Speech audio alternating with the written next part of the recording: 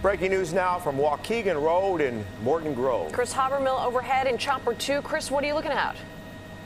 Well, Marie and Jim, always a busy stretch of Waukegan Road here, uh, very popular, especially during the morning and afternoon rush hours. It is closed right now after this rollover crash uh, occurred at Waukegan Road and Beckwith. So this is on the northeast corner of that intersection. The intersection is closed and also a section of Waukegan between Church and Golf. And it's going to be till further notice. There's a lot of hard barricades out here and cones and other police tape and a lot of squads out here, so there's a crash reconstruction that has to be uh, undertaken here before this is going to be uh, moved at any time. So throughout the afternoon, uh, going to plan on using either Church or Golf instead of Beckwith and uh, move to the west and use Harlem instead of Waukegan Road. At least one person seriously hurt here.